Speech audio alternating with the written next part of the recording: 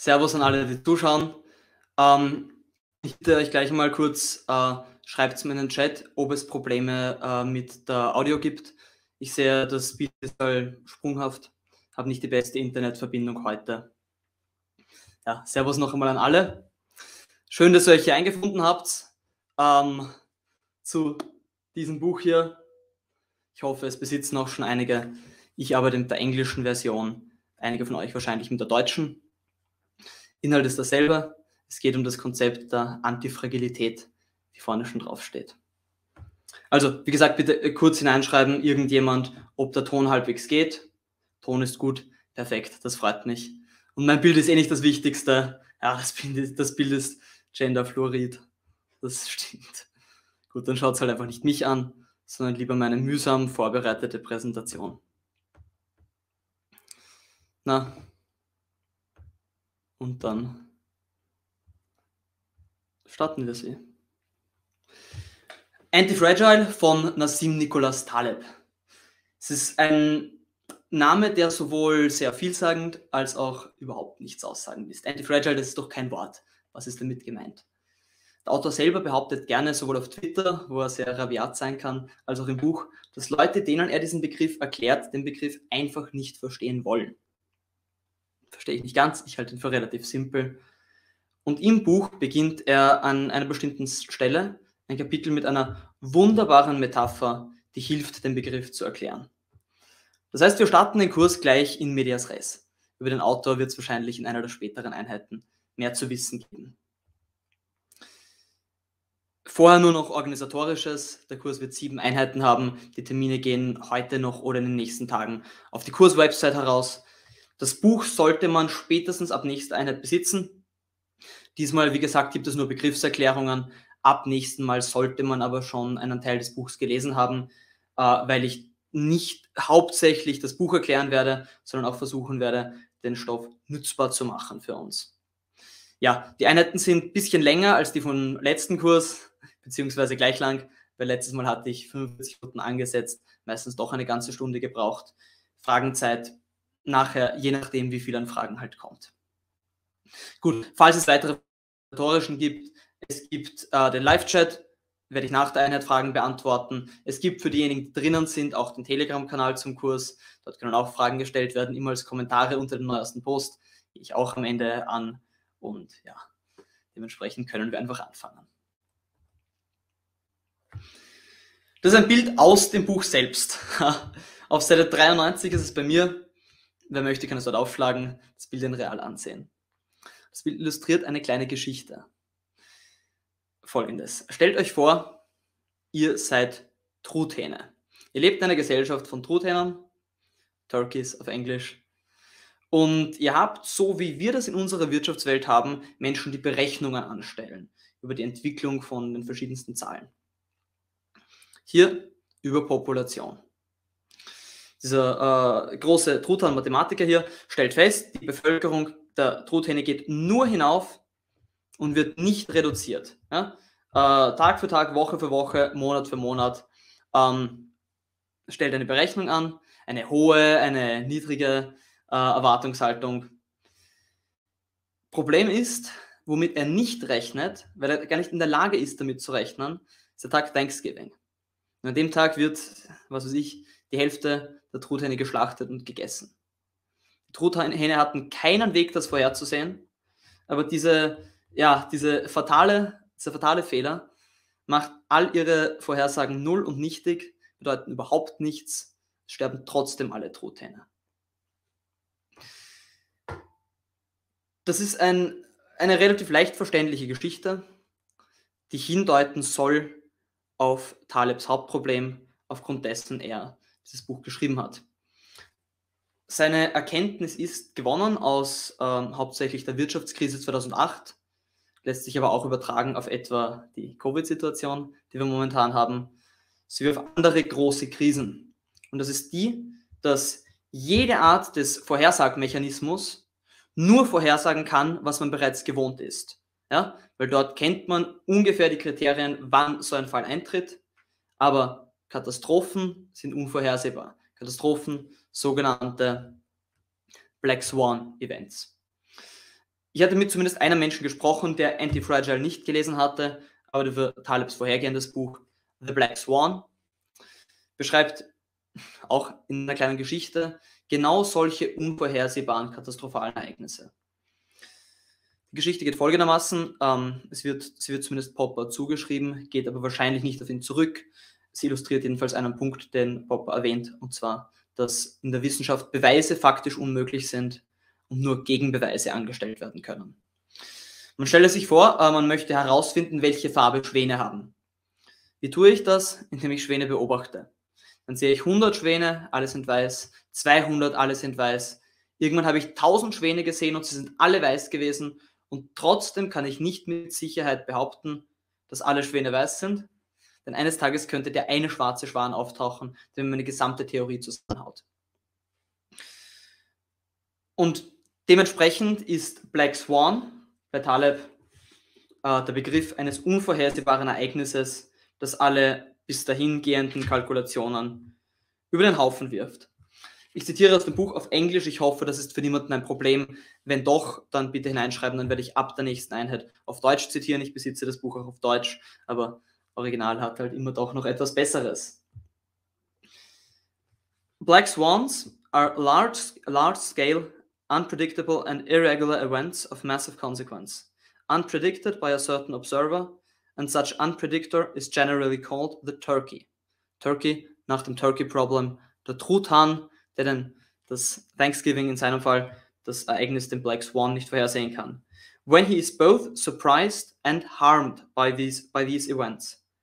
I have made the claim that most of history comes from Black Swan events, while we worry about fine tuning our understanding of the ordinary and hence develop models, theories, or representations that cannot possibly track them or me measure the possibility of these shocks.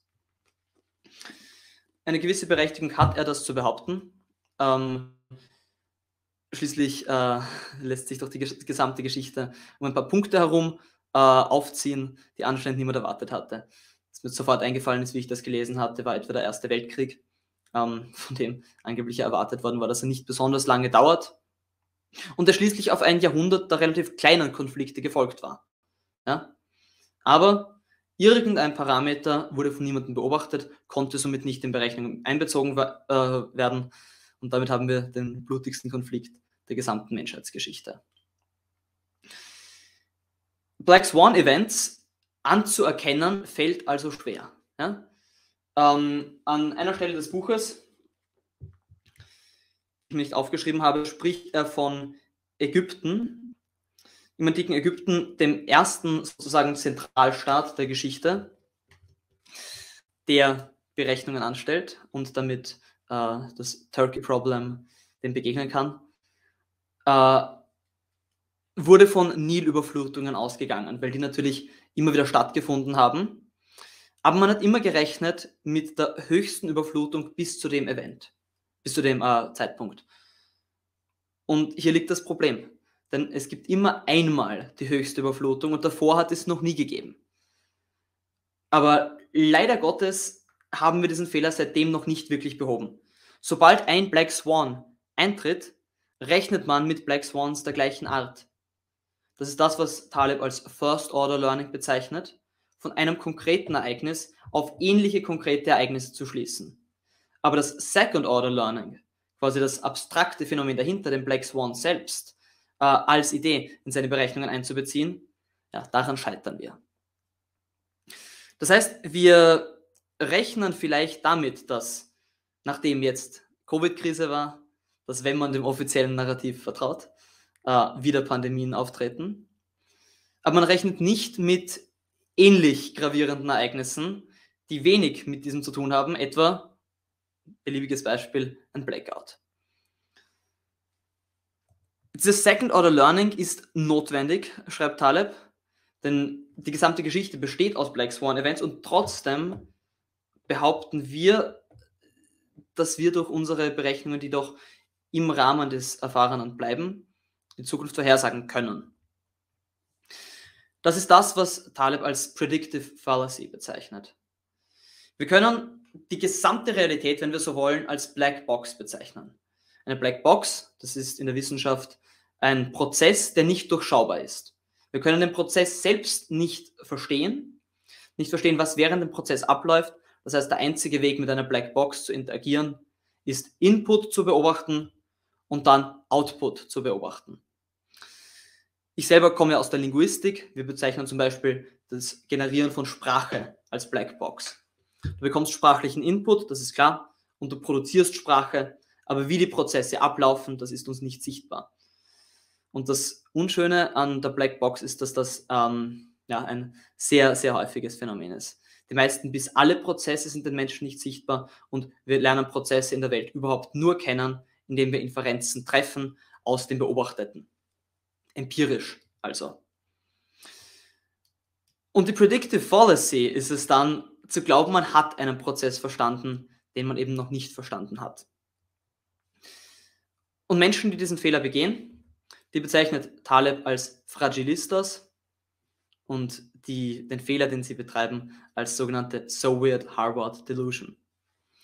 Das hier, was ihr hier seht, ist der Feind von Taleb, sind die Berechner, die, behaupten, die Realität verstanden zu haben. Er beschreibt an einer Stelle des Buches eine Szene, vielleicht finde ich sie kurz heraus, wo er geladen ist, er stammt selber auch aus der Wirtschaft, zu einem Meeting, wo genau so eine Vorhersage getroffen wird und beschreibt in relativ schönen Worten, ähm, ja, ja, ja, dass, wie sehr das aufregt, diese äh, Vorhersagen, die seiner Meinung nach auf nichts fußen.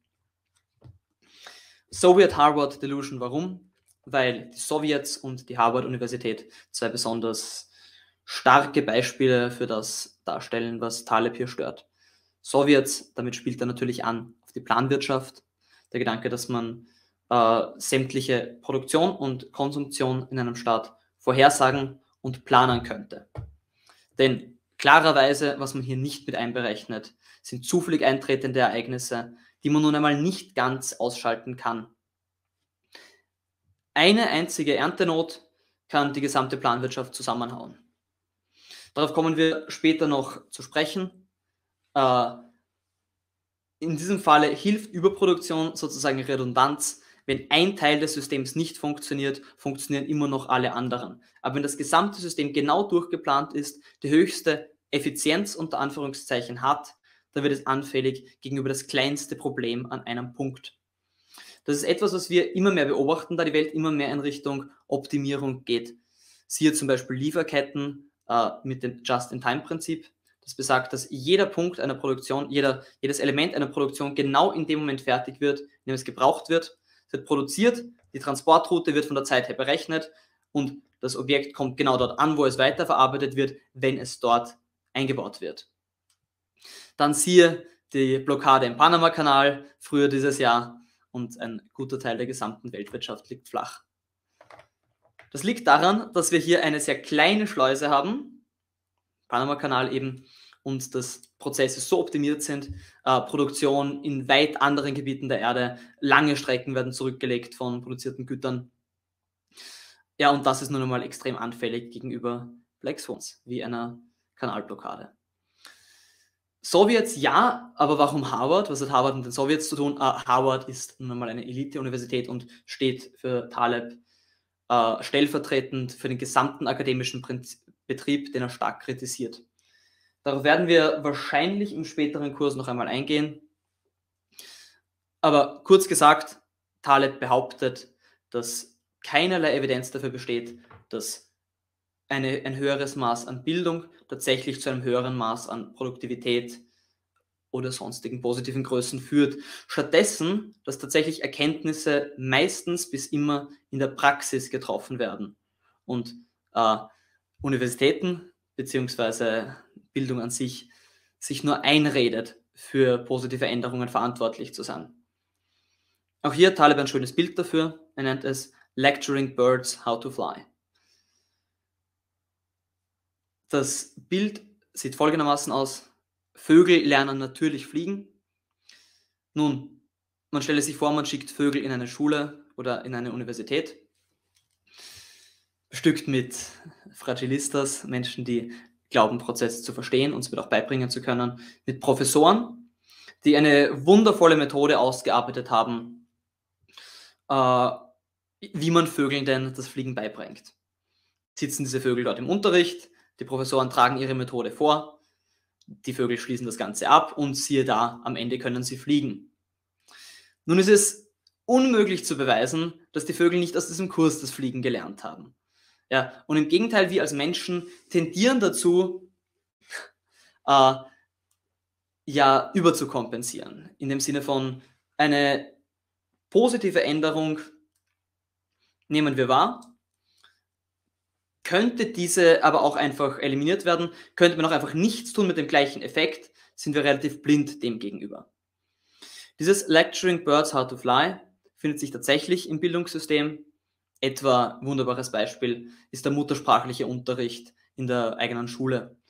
Gymnasium noch deutsche Grammatik zu lernen, sogar in der Volksschule schon, ist völlig unnötig, da eine Grammatik immer nur eine Annäherung an die tatsächliche sprachliche Grammatik ist, kann ich als Linguist, glaube ich, sagen, äh, und dementsprechend weniger perfekt als das, was das Kind intuitiv lernt. Taleb behauptet nun, das kann man ausweiten auf noch deutlich, deutlich mehr Bereiche, etwa auf die Wirtschaft, dass die Wirtschaft, äh, die an Universitäten unterrichtet wird, tatsächlich mehr Schaden anrichtet, da sie Dinge in Modelle presst, die niemals ganz zur Realität passen können und purer Instinkt, Trial and Error Vorgehen tatsächlich für einen angehenden Unternehmer der bessere Weg wäre. Trial and Error hat natürlich auch die Implikation des Error, aber darauf kommen wir später noch zu sprechen. Gut, ähm, so viel zum Thema Soviet Harvard Delusion. Was ist das Problem mit dieser Delusion? Ha. Implizit steht hier bereits drinnen, äh, für diejenigen, die sie kennen, sicher die Debatte zwischen Empirismus und Rationalismus. Kann ich Wahrheit über die Realität erfahren? Kann ich das nicht tun? Kann ich nur durch Trial and Order lernen? Kann ich Dinge gedanklich durchdringen? Taleb sieht die Realität vor allen Dingen einmal chaotisch. Ja? Ähm, er sieht, dass alles, alle Objekte, alle Systeme, alle Theorien und so weiter mit einer chaotischen, zufälligen Realität arbeiten müssen, mit einer Blackbox. Ob Zufall tatsächlich äh, existiert, darüber ist sich die Wissenschaft natürlich noch nicht einig, aber Zufall existiert auf jeden Fall insofern, dass Zufall in jedem System auftritt, dessen innere Mechanismen man nicht ganz versteht, nicht ganz durchdrungen hat. Nun, und wenn Zufall existiert, dann muss man auch einen Weg finden, mit ihm auszukommen. Und das ist das Problem. Äh, Taleb meint, in, der, in den Problemen mit Black Swans, die existieren, äh, auch in anderen Problemen, dass wir niemals die Realität gänzlich verstehen. In isolierten Bereichen vielleicht schon. Naturwissenschaften können Naturgesetze herausfinden, können die dann noch anwenden, das stimmt. Aber so etwas Hochkompliziertes wie etwa der menschliche Körper oder ein Markt oder ein politisches System arbeitet über viel zu viele verschiedene Variablen, als dass wir die alle auf einmal in ein System pressen könnten. Das ist nicht nur Talebs ideelle Behauptung, das findet er auch empirisch belegt entsprechend. Äh, wir werden später im Buch noch auf, das, auf Studien zu sprechen kommen, die tatsächlich Zahlen nennen, scheinen zu beweisen, dass ja, Vorhersagen so oft scheitern, wie Taleb das behauptet. Aber gut, das heißt dann, wenn äh, wir nicht in der Lage sind, die Realität zu verstehen, zu durchdringen, die Gesetze aufzustellen, durch die wir perfekte Vorhersagen sprechen können, dann äußert sich nun einmal Zufall. Ja, und wie gehe ich mit Zufall um? Dafür muss man kurz noch aussprechen, was Zufall genau ist. Äh, Taleb spricht von Disorder um genau zu sein. Ich weiß jetzt leider nicht, welches Wort er im Deutschen wählt, aber ich kann es einmal äh, spontan übersetzen als Unordnung. Um genau zu sein, spricht er eine ganze Disorder Family an, mit der man nun, mal, nun einmal zu tun hat in jedem System, das man nicht gänzlich versteht. Diese Disorder Family umfasst verschiedene Konzepte, mm, um genau zu sein 16 Stück, die ich jetzt mal nennen werde. Das sind Uncertainty, also Unsicherheit, Variability, also ja, Variabilität, Imperfect, Incomplete Knowledge, ja, also äh, inkomplettes oder nicht perfektes Wissen, Chance, Zufall, Chaos, Chaos, Volatility, Volatilität natürlich, Disorder, Entropy, Time, the unknown, Randomness, Turmoil, Stressor, Error, Dispersion of out Outcomes und Unknowledge. Ich werde nicht auf alle davon weiter eingehen, aber einige davon äh, lohnen sich besprochen zu werden.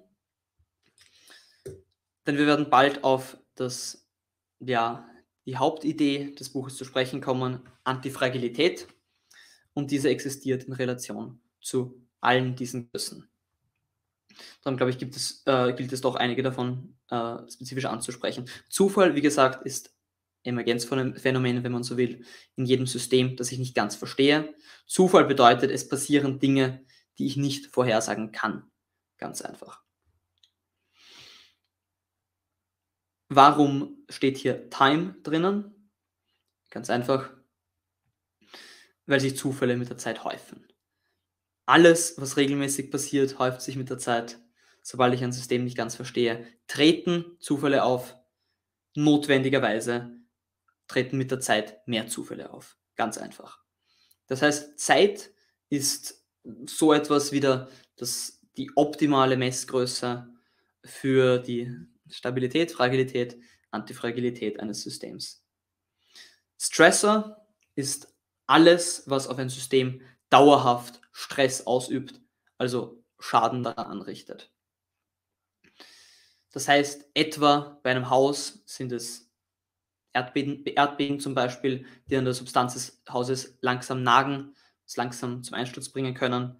Und Error ist noch wichtig anzusprechen. Ein Error ist ein Fehler, den ich persönlich durch eine Entscheidung treffe. Ich treffe eine Entscheidung, die ist aber keine gute Idee. Das ist ein Error, wenn ich Schaden von dieser Entscheidung ja, bekomme.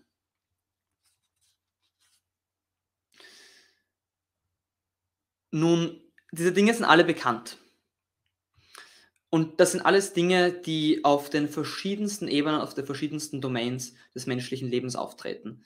Wie bereits gesagt, Objekte wie Systeme haben damit zu tun. Und zwar immer auf eine von drei Weisen. Und diese drei Weisen sind fragil, robust und antifragil. Das ist jetzt ein bisschen viel. Ähm, heißt, ich möchte es noch einmal langsam, langsam durchgehen. Was fragil ist, ist jedem klar. Man stelle sich vor, etwa eine, eine Box. Man bestellt sich auf Amazon ein Set Gläser aus Glas man bekommt es geliefert, drauf steht so ein Pickel, steht drauf Fragile, uh, Handle with Care oder so etwas. Was bedeutet Fragilität? Fragilität bedeutet, man hat eine hohe Wahrscheinlichkeit, Schaden zu bekommen durch irgendeine Form von Disorder. Ein Zufall ist es etwa, äh, wenn ich stolpere und mir die Box runterfällt und die Gläser alle zerbrechen. Dann bekommen die Gläser Schaden, natürlich. Äh, ein Stressor ist jedes Mal, wenn ich das Glas verwende, übe ich leichten Druck darauf aus. Wenn zu viele von denen sich häufen oder zu starke Stressors äh, ausgelöst werden, dann kann mir das Glas genauso brechen, wenn ich es einmal zu fest nehme, etwa. Und ja, Time sowieso, kaum ein Glas hält ewig. Sieh bloß, wie viel äh, archäologisch an Scherben ausgegraben wird und wenig an ganzen Objekten. Schließlich ein Error, zum Beispiel, wenn ich ein Glas zu fest hinstelle, etc., zerstört es.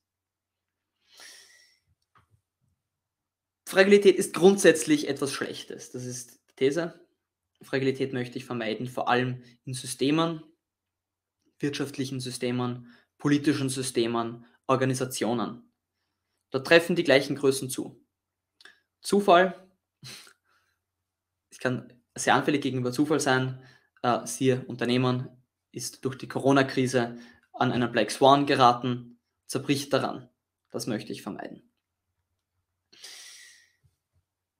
Talebs Lebenswerk äh, baut nun oder läuft nun hinaus auf eine bestimmte Erkenntnis. Wenn ich versuche, Fragilität zu vermeiden, landen die meisten Menschen am Begriff der Robustheit. Wenn ich jemanden frage, was ist das Gegenteil von Fragilität, dann bekomme ich meistens die Antwort, das ist Robustheit. Das Gegenteil eines fragilen Glases ist ein robustes Glas. Das Gegenteil eines fragilen Systems ein robustes System. Aber wenn ich mir anschaue, was Fragilität wirklich heißt, im Zusammenhang mit Disorder, dann stimmt das nicht mehr ganz. Fragilität bedeutet Anfälligkeit gegenüber Disorder. Hohen Schaden von Zufall. Robustheit bedeutet bloß keinen Schaden oder weniger Schaden von Disorder. Nun behauptet Taleb aber, dass Robustheit mehr eine Mittelposition einnimmt. Keinen Schaden einzunehmen von Zufall ist nicht das Gegenteil davon, Schaden von Zufall zu bekommen.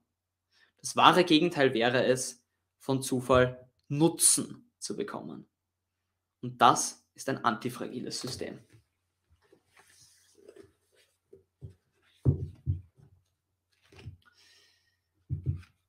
Taleb ist mir auf eine Weise sehr sympathisch, dass, wie ich bereits gezeigt habe, er viel mit Geschichten erklärt. Geschichten helfen, äh, Konzepte zu verstehen. Das haben unsere Vorfahren schon gewusst, deswegen haben sie sich Mythen erzählt. Und tatsächlich greift Taleb auf drei Mythen aus dem Nahen Osten, aus Griechenland, mit dem er sich identifiziert, zurück, um diese drei Konzepte zu erklären. Der erste Mythos ist der des Damoklesschwertes. Damokles ähm, möchte nicht weiter ausführen, Fragilität ist den meisten eh schon verstanden, eh schon bekannt. Um die absolute Kurzfassung wiederzugeben, Damokles ist die Person hier unten, über ihm hängt ein Schwert an einem seidenen Faden. Irgendwann wird dieses Schwert herunterfallen und ihn erstechen und er wird sterben.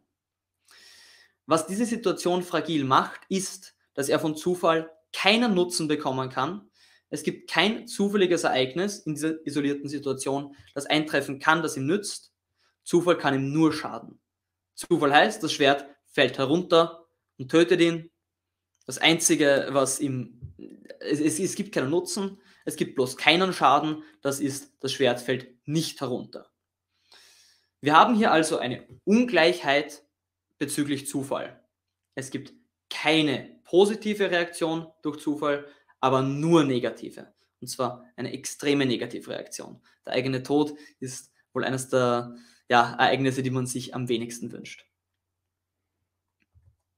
Nun haben wir ein robustes Wesen. Der Phönix kann sich regenerieren nach jedem Tod. Im Feuer steigt aus der Asche wieder empor und lebt weiter. Zufall nützt ihm weder noch schadet er ihm.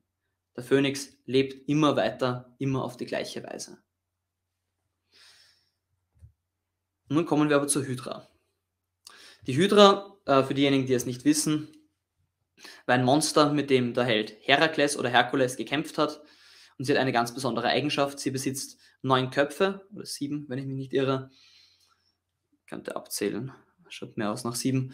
Äh, besitzt sieben Köpfe also. Aber jedes Mal, wenn ihr ein Kopf abgeschlagen wird, wachsen ihr zwei neue an der Stelle nach.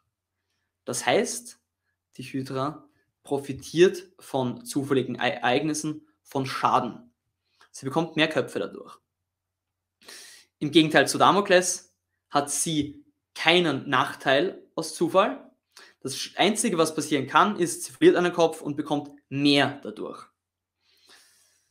Ich glaube, das illustriert die drei äh, Kategorien relativ gut. Ähm, die Frage ist nun, haben diese äh, Kategorien tatsächlich Anwendungsorte. Ähm, und ja, das haben sie. Tatsächlich findet sich Antifragilität an sehr, sehr vielen Orten in der Welt, denn Antifragilität ist der Modus der Natur. Dieses Bild wird euch wahrscheinlich wundern, wenn ihr das Buch nicht gelesen habt. Es ist ausgewählt nach dem Titel von Kapitel 3. Heißt einfach The Cat and the Washing Machine ich habe kein besseres Bild gefunden, um diesen Punkt zu illustrieren. Also habt ihr einfach hier das Bild äh, namensgleich mit dem Kapitel. Zwischen der Cat, der Katze und der Washing Machine, der Waschmaschine, besteht nämlich ein entscheidender Unterschied. Die Katze ist organisch und die Waschmaschine ist anorganisch. Und Taleb behauptet nun, alles Anorganische ist fragil oder bestenfalls robust und alles Organische ist antifragil. Antifragil natürlich nur bis zu einem gewissen Punkt, das sollte gleich festgehalten werden. Auch die Hydra wird am Ende getötet. Es gibt einen Weg, sie zu töten. Und auch das antifragilste System auf dieser Welt würde durch ein, keine Ahnung, ein Meteorit fällt, fliegt äh, in die Erde, die gesamte Erde wird unbewohnbar, dann ist auch noch das antifragilste System kaputt.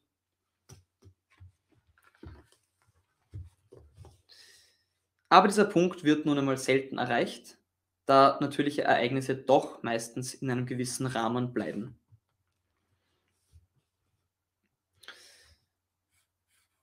Ein Zitat aus von Seite 54 zum Thema Antifragilität des Natürlichen. Typically, the natural, the biological, is both antifragile and fragile, depending on the source and the range of variation. A human body can benefit from st stressors to get stronger, but only to a point. For instance, your bones will get denser when episodic stress is applied to them, a mechanism formalized under the name Wolff's Law after an 1892 article by a German surgeon. But a dish, a car, an, an, an, an inanimate object will not. These may be robust, but cannot be intrinsically antifragile. Was heißt das? Ähm, das heißt, ein, mechanische, ein mechanisches, nicht organisches Objekt kann als solches nicht antifragil sein. Schaut euch Objekte in eurem Zimmer an, nichts davon profitiert von Schaden. Mit Lebewesen ist es nun einmal anders. Das wahrscheinlich am besten bekannte Beispiel ist der Gewinn von Muskeln. Wenn ich trainiere, wenn ich meinen Körper belaste, dann wachsen meine Muskeln, dann werde ich stärker. Dann kann ich mehr Belastung aushalten. Und das Gleiche trifft anscheinend zu auf äh, viele andere äh, Teile des Körpers.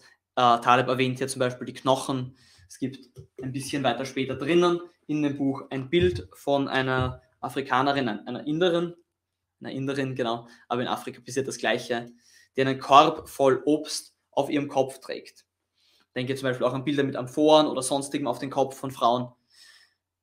Angeblich, muss ich mir vertrauen, äh, wird die Schädeldecke dadurch stärker, durch den, ja, den Druck, der kontinuierlich auf sie ausgeübt wird. Das gleiche gilt zum Beispiel auch für Durchblutung. Diejenigen von euch, die schon einmal Eisbaden waren, kennen das. Man zwingt den Körper zur Durchblutung und die Durchblutung wird dadurch auch stärker. Und im Gegenteil ist es so, dass der Körper tatsächlich unter der Abwesenheit von Stressoren von Zufall leidet. Das kennt man, der Sojamensch, der Moderne, der nur noch auf seiner Couch liegt, Netflix schaut, keiner Sport macht, sich nicht Zufall, sich nicht den Elementen und jede Art von kleinem überlebbaren Schaden aussetzt, der verkommt schon langsam. In der Biologie spricht man von, in einem einfachen Diktum von use it or lose it. Und dieses use it bedeutet, was den menschlichen Körper anbelangt, immer Belastung. Ja, tatsächlich gilt das Gleiche doch sogar für das Gehirn. Ja, auch das Gehirn zu verwenden, belastet es auf eine Weise, aber stärkt es auch. Das heißt, ähm, in anderen Worten, Antifragilität ist kein Konzept, keine Hirngeburt von Taleb, sondern ein Prinzip, das in der Natur verankert ist, das Taleb entdeckt hat. Und tatsächlich erwähnt er, dass Antifragilität anscheinend der Menschheit schon lange bekannt ist, aber nicht bewusst. Was meine ich damit? Ich meine damit, dass die Menschheit bereits mit Antifragilität gearbeitet hat, ohne noch ein Wort dafür zu besitzen. Er erwähnt ähm, zwei, sagen wir, Vorformen der Proto-Antifragilität, in denen der Begriff fast bewusst wird, aber doch noch nicht ganz. Und zwar, und zwar nennt er Mithri Mithridatization. Es tut mir leid, meine englische Aussprache ist nicht die beste. Ich bin es nicht mehr ganz geübt. Und Hormesis. In beiden Fällen geht es um den Umgang des Körpers mit schädlichen Substanzen. Na, wenn ich es jetzt bloß noch finden würde, dann wäre das besonders gut.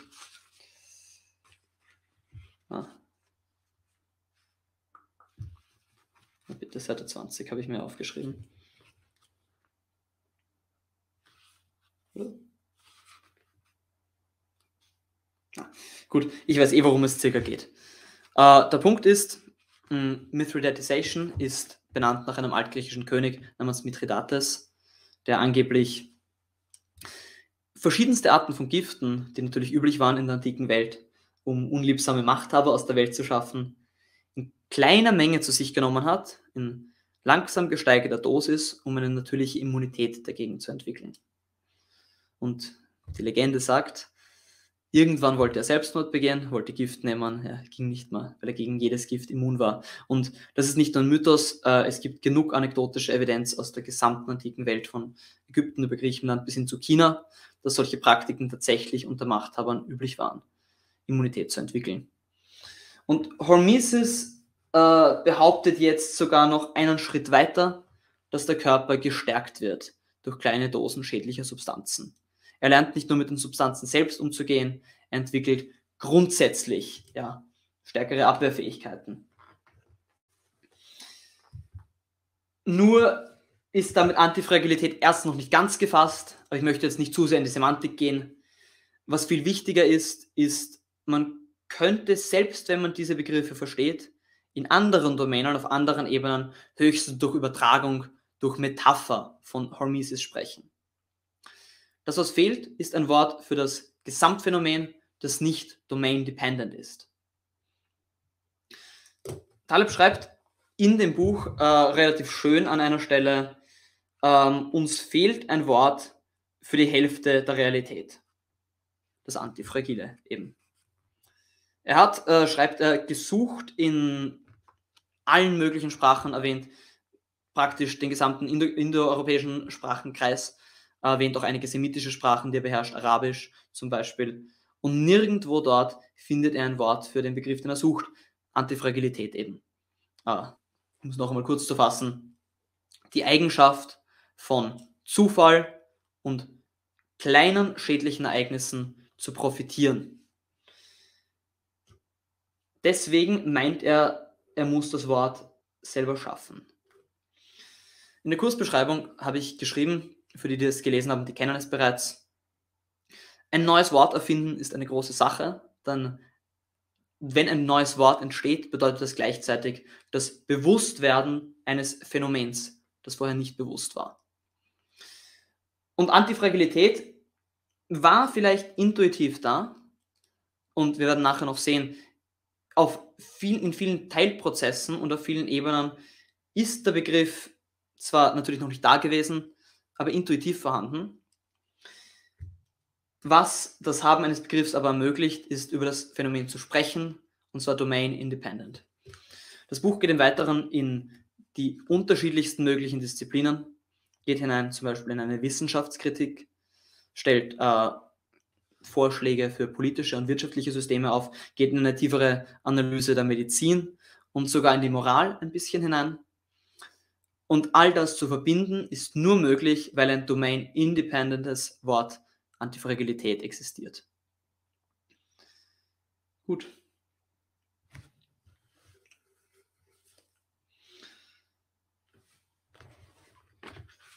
Gehen wir zurück zu Antifragilität als Prinzip der Natur. Ähm, ja.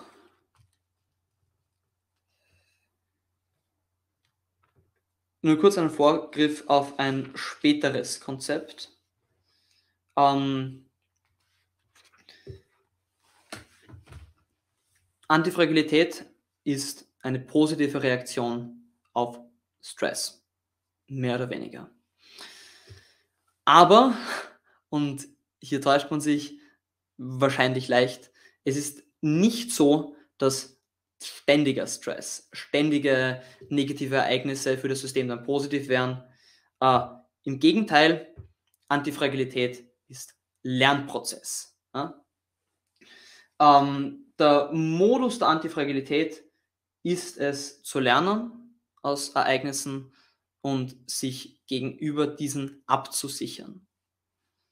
Das passiert organisch durch die, ja, im Körper zum Beispiel, durch die Herausbildung von stärkeren Knochen, stärkeren Muskeln etc.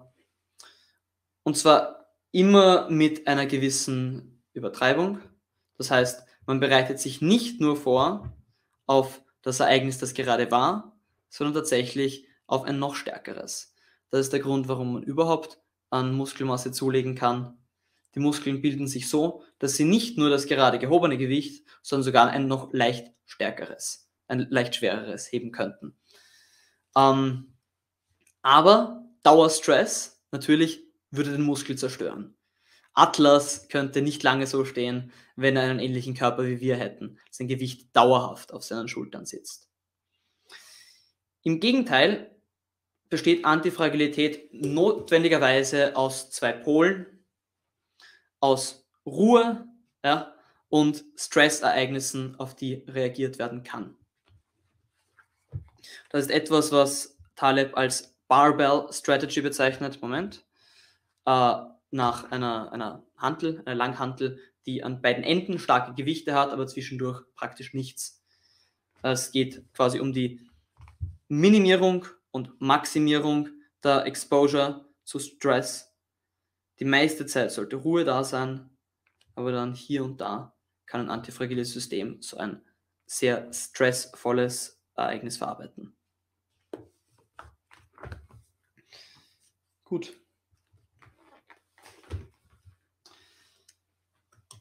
Wenn wir Antifragilität greifen als Prinzip des Organischen, dann gilt es nicht nur auf der Ebene des Körpers, sondern tatsächlich auch auf der Ebene von, ja, wenn man so will, gesamten natürlichen Systemen. Die Evolution arbeitet über Antifragilität. Was heißt das? Das heißt, sie lernt aus ihren Fehlern. Ein antifragiles System hat nämlich immer gewisse Eigenschaften, die die Antifragilität erst zusammenstellen und diese kann man aussprechen. Das Ziel dieses Kurses ist es natürlich zu erklären, äh, wie ich meine eigenen Systeme antifragil machen kann. Das heißt, wir werden jetzt durchgehen vier Grundeigenschaften, die ein System hat, um Antifragilität zu erreichen. Ähm, und ich werde mit jedem dieser Beispiele noch einmal zurückgreifen auf das, ja, auf das Organische, das ja doch das beste, das Grundbeispiel für Antifragilität ist.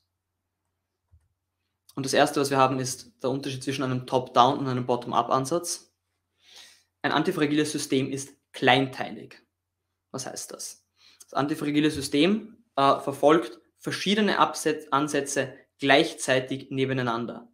Es wird nicht ein Zugang von oben vorgegeben, sondern diese werden kreativ von unten her in weiter Form ähm, ja, äh, produziert, quasi ins Leere geschossen und ja, da sind wir schon beim nächsten Trial and Error. Manches funktioniert, manches funktioniert nicht.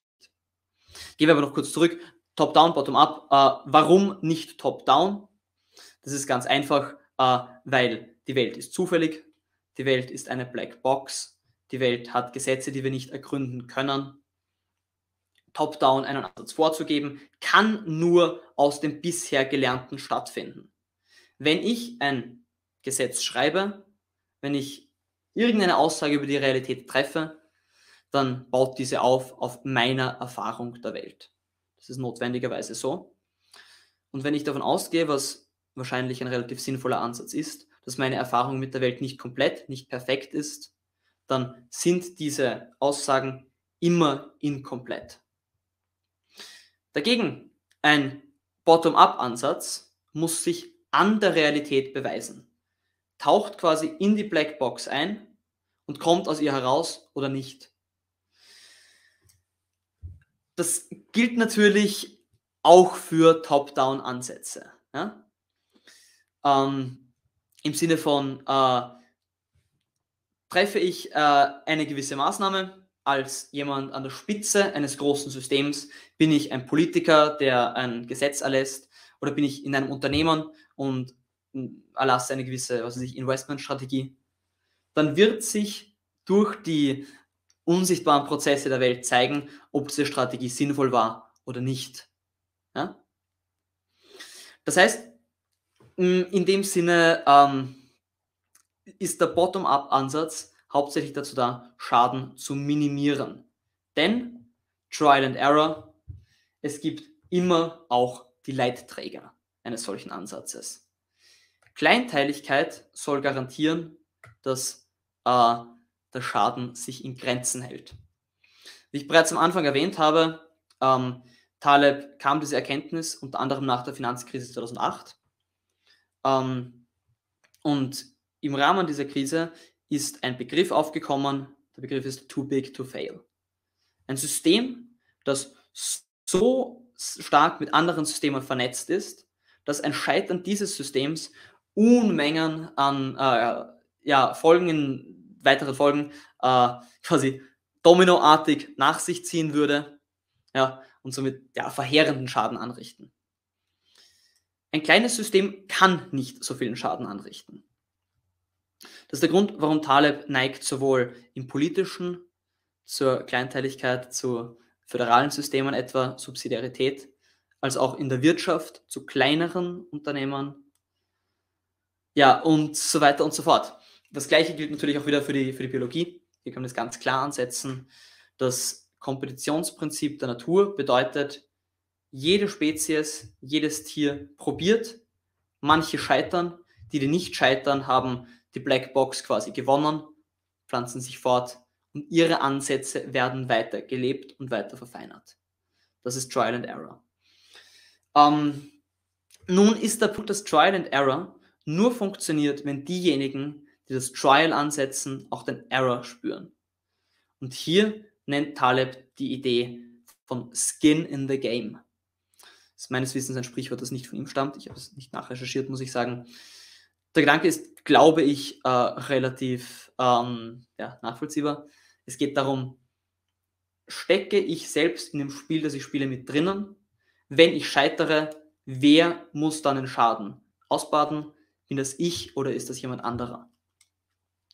Und das Problem ist, ähm, siehe wieder Finanzkrise 2008, wenn Staaten, Banken ihre Schulden unterlassen, sie, äh, ihre Schulden erlassen, sie irgendwie retten aus der Krise, in die sie sich hineinbuxiert haben, heraus, dann lagern sie den Schaden, den Banken eigentlich sich selbst zuzuschreiben haben, an den Steuerzahler aus. Und das führt zum Scheitern des Trial-and-Error-Systems. Denn wenn man den Error nicht mehr selbst spürt, hat man auch keinen Grund, ihn nicht zu machen. Und ja, wie soll ich sagen, das ist, glaube ich, gerade auch politisch in einer Demokratie äh, ein sehr starkes Problem, das wir hier sehen. Unsere Politiker haben auf keine Weise ähm, wirklich ja, negative Konsequenzen von unverantwortlichem Handeln. Das Schlimmste, was ihnen passieren kann, ist einfach ihr Amt zu verlieren und damit halt einen gewissen kleineren Lohn zu bekommen, wobei meistens sie eh gute Posten in großen Unternehmen bekommen, sobald sie ihr politisches Amt verloren haben. Das heißt, ja, sie sind antifragil, die Banken wie die Politiker. Sie können von Zufall profitieren, ihr Gehalt kann hinaufgehen, ihre Berühmtheit, ihr, worauf auch immer sie aus sind, aber sie können nicht verlieren von Zufall, zumindest nicht besonders viel. Aber das ist keine eigentliche Antifragilität laut Taleb, sondern das ist Antifragilität auf Kosten der Fragilität anderer. Sie lagern ihre Fragilität quasi aus.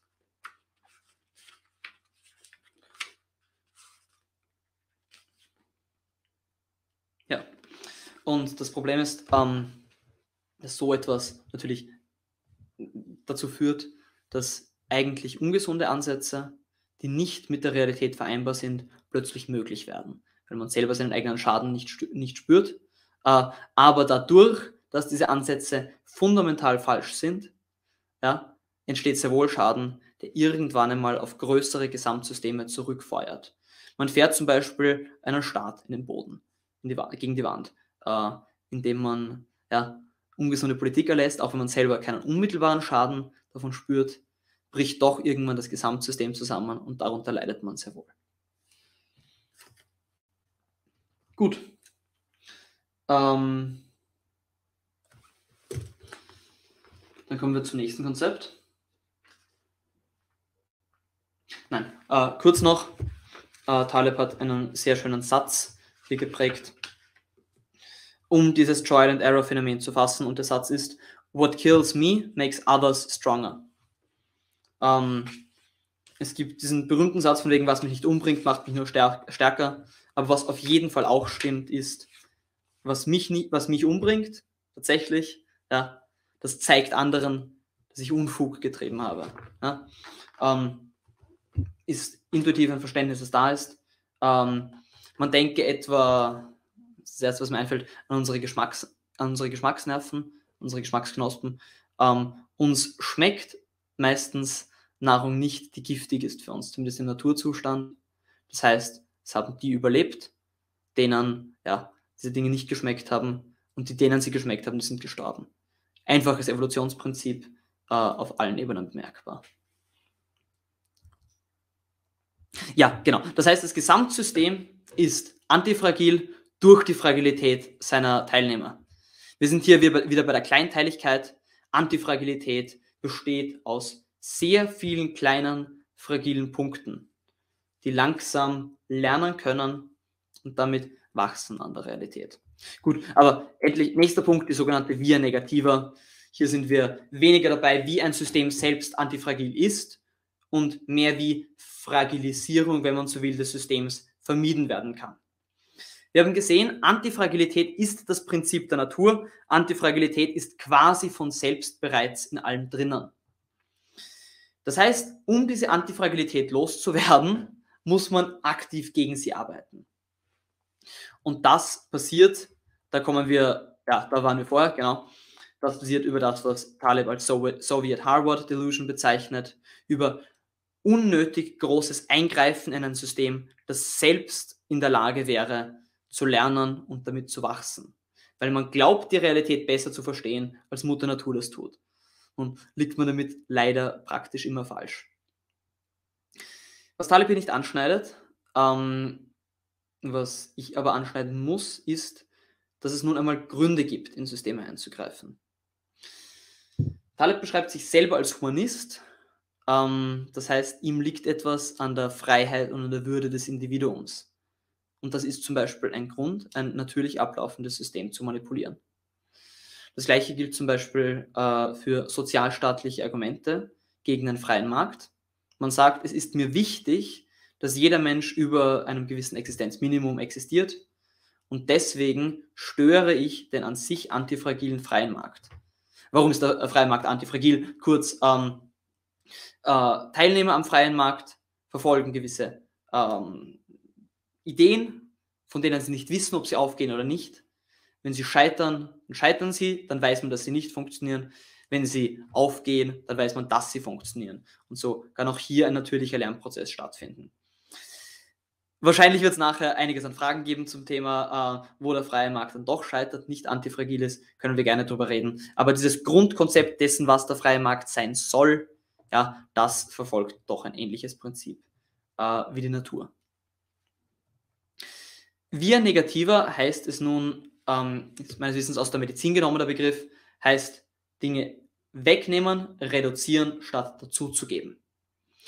Wie bereits vorher erwähnt, der Mensch neigt dazu, äh, auf Scheitern in einem System mehr und mehr Eingriffe äh, vorzunehmen, anstatt Eingriffe zu reduzieren ich komme ins Spital mit einem Beinbruch, ich bekomme Schmerzmittel, von den Schmerzmitteln wird mein Verdauungssystem durcheinander geworfen, dann wird mir schlecht, ich komme Durchfall, was weiß ich was.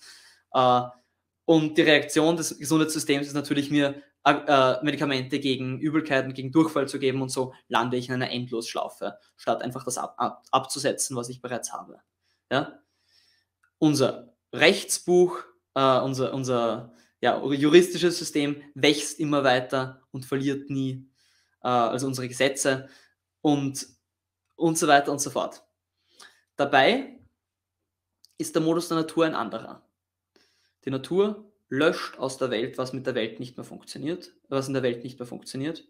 Und tatsächlich ist das auch, ähm, ja, wie soll ich sagen, äh, ein, ein sehr natürlicher Prozess Taleb beschreibt später im Buch in einem Abschnitt zur Wissenschaftskritik, dass die meisten entworfenen Techniken, ähm, das heißt Technik ist alles vom Rad bis zum iPhone. Das allermeiste an Technologien verschwindet wieder aus der Welt, überlebt nicht die, eine kurze Frist, die es existiert. Ja. Ähm, und nur die Dinge, die sich an der Realität bewiesen haben, bleiben. Ja. Das heißt, gibt es ein Problem, siehe zum Beispiel auch in der modernen Welt, sollte ich zuerst einmal die Frage stellen, kann ich dieses Problem lösen durch ja, Elimination eines Problemauslösers und nicht kann ich eine gewisse Maßnahme setzen, um gegen das Problem zu agieren. Ähm, moderne Welt habe ich warum genannt, äh, weil wir momentan ausgesetzt sind in, in dieser Welt äh, einer Menge von kleinen Umständen, die stark entfernt sind vom, sagen wir mal, Naturzustand des Menschen. Licht anbelangt zum Beispiel, Sonne ist bereits unten, ich werde hier angeleuchtet, darauf ist mein Biorhythmus eigentlich nicht abbestimmt. Auf in Sachen Substanzen, ähm, künstlich hergestellte Lebensmittel, Geschmacksverstärker etc. Äh, Taleb geht etwa auch ein, später im Buch auf die berühmten Vegetable Oils, die sehr beliebt waren, irgendwann letztes Jahrhundert. Mittlerweile aber nach langem festgestellt wurde, dass diese dem Körper nicht gut tun. Und mittlerweile geht die meiste Ernährungsberatung in die Richtung, diese aus dem Speiseplan zu eliminieren und so weiter. Das heißt, ähm, frage dich zuerst, denn jede positive Maßnahme, nicht vergessen, kann Fehler mit sich bringen, kann scheitern. Wir wissen nicht, ob sie funktioniert, denn sie ist rein rational und das Rationale, das Durchdachte baut immer auf Erfahrung auf. Ja? Das heißt, reduzieren, eine Maßnahme wegzunehmen, äh, löst typischerweise weniger Schaden aus. Kleinigkeit muss man dazu sagen, das gilt natürlich in Extremfällen nicht. In Extremfällen, wenn ich kurz davor bin zu, sterbe, zu sterben, ist es natürlich der Medizin sehr wohl berechtigt, ähm, wild neue Maßnahmen auszuprobieren an mir, die, äh, ja, von denen sie noch nicht wissen, welche Langzeitfolgen diese haben könnten. Aber äh, das ist nur mal ein Extremfall. Ja? Und das Verhältnis zwischen Schaden und Nutzen, Fragilität, Antifragilität ist dort anders. Ja? Im Normalzustand habe ich durch die Reduktion meistens deutlich mehr zu gewinnen als durch die Zugabe, die, wie gesagt, immer ein Risikospiel ist, da wir nicht perfekte Informationen besitzen. Im Extremzustand verliere ich durch das Nichtstun ohnehin. Das heißt, ich kann nur gewinnen durch eine Maßnahme. Und schließlich Redundanz. Warum Redundanz? Damit ich über Trial and Error nicht zugrunde gehe. Ähm, Taleb erwähnt das Verkehrssystem zum Beispiel oder gilt natürlich auch die Planwirtschaft als Ansätze, die nur einen Weg auf einmal gehen. Und scheitert dieser Weg, dann ist kein Weg mehr übrig. Ja? Stau auf einer Autobahn. Was mache ich sonst? Es gibt nur diese eine Straße. Äh, Planwirtschaft scheitert. Gut, okay, es sind keine anderen Produkte mehr da.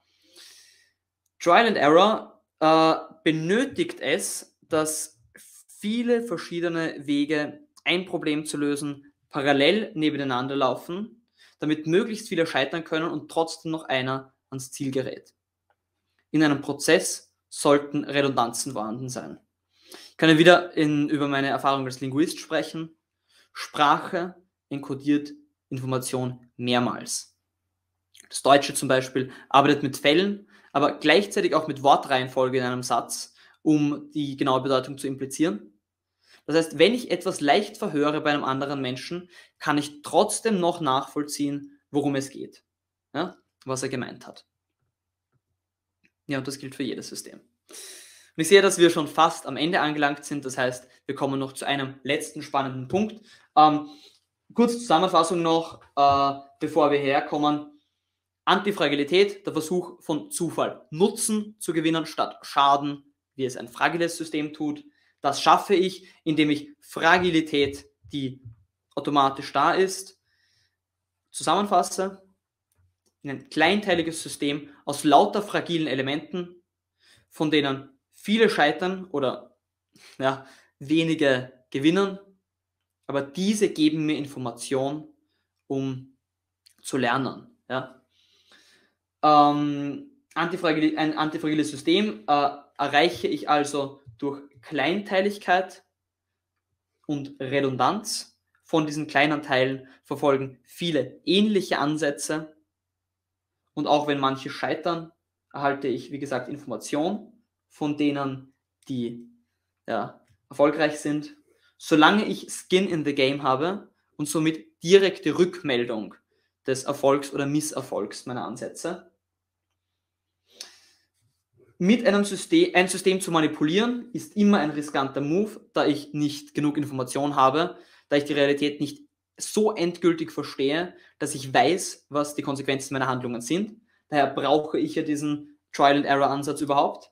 Das heißt, Manipulation des Systems maximal vermeiden und wenn sie da ist, eher wieder entfernen, anstatt mehr zu manipulieren. Und ja, das war es eigentlich bereits. So mache ich ein System antifragil. Und ähm, das ähnelt nur kurz dem organischen insofern, als man stelle sich vor, ähm, eine Spezies oder Population als sozusagen Subjekt der Evolution, wenn man so will. Jedes Tier oder jede Pflanze dieser Spezies hat im Endeffekt das gleiche Ziel, Überleben und Vermehren, somit stark redundant sie sind leicht unterschiedlich. Das heißt, äh, guter Rahmen, um zu lernen. Einige scheitern und einige treffen über das Ziel hinaus. Aber die Gesamtspezies überlebt durch die Vielzahl an Ansätzen, die verfolgt wird, um das gleiche Ziel zu erreichen. Natürliche Spezies haben immer maximal Skin in the Game. Wenn sie keine Nahrung bekommen, verhungern sie. Wenn sie keine Verteidigungsmechanismen haben, werden sie gefressen.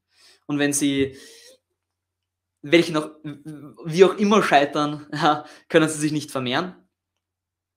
Das heißt, äh, dieses Problem der an andere, an andere ausgelagerten Fragilität kommt in der Natur faktisch nicht vor. Und somit auch ähnlich auch das Problem von äh, Tinkering, der Soviet Harvard Delusion, äh, des Bottom-up-Ansatzes nicht. Ja.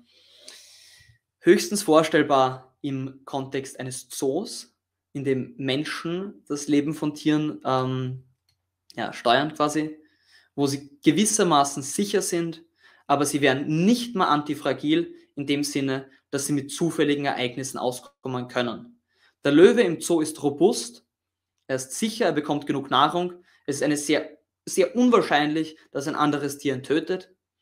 Aber welches zufällige Ereignis auch immer eintreffen mag, es wird ihn umbringen. Ja? Der kann außerhalb dieses Gehege, äh, dieses Gehegebiotops nicht überleben. Gut. Ähm, ich möchte mich gleich entschuldigen noch einmal, äh, wie abstrakt das Ganze heute war. Es geht nur mal darum, Grundkonzepte verstanden zu haben. Ich hoffe, ich habe genug Beispiele auch noch erwähnt. Ähm, jetzt werde ich am Ende aber noch zu einer raschen Anwendung kommen, einem sehr interessanten Beispiel meiner Meinung nach, weil ich Taleb hier auch für ein bisschen unehrlich bezeichne. Bevor wir abschließen, kurz ein Zitat von Heraklit, das meiner Meinung nach einer dieser Vorerkenntnisse, die zum Begriff der Antifragilität geführt haben, sind. Das Zitat geht, der Krieg ist der Vater aller Dinge und der König aller. Die einen macht er zu Göttern, die anderen zu Menschen, die einen zu Sklaven, die anderen zu Freien. Krieg möchte ich hier ersetzen mit Konflikt, denn Konflikt kann sehr viel bis alles heißen. Konflikt mit anderen Menschen, Tieren, der Natur, Systemen etc. Wir stehen in einem dauerhaften, konfliktartigen Austausch mit der Realität. Wir haben Ziele und Hindernisse stehen uns dabei im Weg, diese zu erreichen. Wir können lernen, wie wir mit den Hindernissen umgehen, aber niemals perfekt. Wir können scheitern oder wir können gewinnen. Und wenn wir gewinnen, dann nehmen wir das, was wir gelernt haben, mit. So läuft alles ab und tatsächlich schreibt Taleb auf Seite 5, ist es sehr gefährlich, das nicht zu haben. Er schreibt, crucially, if antifragility is the property of all those natural and complex systems that have survived, depriving these systems of volatility, randomness and stresses will harm them. They will weaken, die or blow up. Das kennt man im menschlichen Körper, ich habe es angesprochen. Der Mensch verkommt, wenn er nicht genug Aktivität, nicht genug Stress, äh, nicht genug Zufall in seinem Leben hat. Aber das gilt nun einmal für alle Systeme. Wird man zu lange in Ruhe gewogen, dann verkümmert man oder wird anfällig gegenüber Black Swan Events, die dann töten. Das heißt, ein System, das Antifragilität bewusst ausklammert, das stirbt. Die Sowjetunion ist zum Beispiel gestorben. Ganz einfach. Und das hat nun einmal auch gewisse moralische Implikationen, die ich nur kurz kursorisch ansprechen möchte, weil sie nicht besonders schön sind.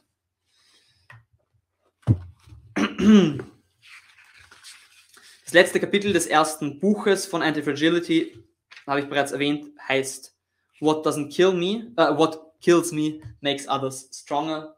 Entschuldige für den Versprecher.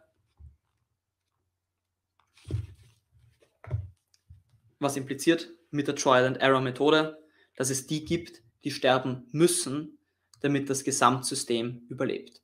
Sonst, wie gesagt, Denial of Anti-Fragility führt zum Verkommen, zur Anfälligkeit gegenüber Black Swans und schließlich zum Tod des gesamten Systems. Dennoch schreibt Taleb auf Seite 77, Some of the ideas about fitness and selection are not very comfortable to this author, which makes the writing of some sections rather painful. I detest the ruthlessness of selection, the, inex the inexorable disloyalty of Mother Nature. I detest the notion of improvement thanks to harm to others. As a humanist, I stand against the anti-fragility of systems at the expense of individuals. For if you follow the, the reasoning, this makes us humans individually irrelevant. Er schreibt kurz davor, der natürliche Modus des Menschen im Stamm oder auch schon im größeren vormodernen System ist der, dass viele sterben. Hohe Säuglingssterblichkeit, Kriege etc. führen dazu, dass darwinisch gesprochen äh, selektiert wird. Nur die Stärksten überleben. Und wenn Anti-Fragility stimmt und zutrifft, dann ist das System auf so etwas oder so etwas in der Art auch angewiesen. Natürlich ist das Konzept sehr unangenehm für einen modernen, individualistisch denkenden Menschen. Und um heute nicht zu überziehen, möchte ich die Konsequenzen äh, davon auch nicht weiter ausführen. Ähm, grundsätzlich das Feld, äh, das hier angeschnitten ist, findet sich meines Wissens unter dem Begriff der Biopolitik, dem Gedanken, äh, wie Menschen mit sich selbst als Organismus, als Gemeinschaft, als Organismus, als Population, die doch der Evolution unterworfen ist, umzugehen hat. Es gibt keine, keine klaren Antworten auf diese Frage, aber die Frage steht im Raum. Und wie Taleb geschrieben hat, einem System die, Antif die Antifragilität zu verneinen, das führt zu seinem Kollaps. Ja. Ich hoffe mal, das war für euch ein interessanter Denkanstoß beenden wir die heutige Einheit. Ich gehe jetzt noch auf Fragen ein. Dankeschön.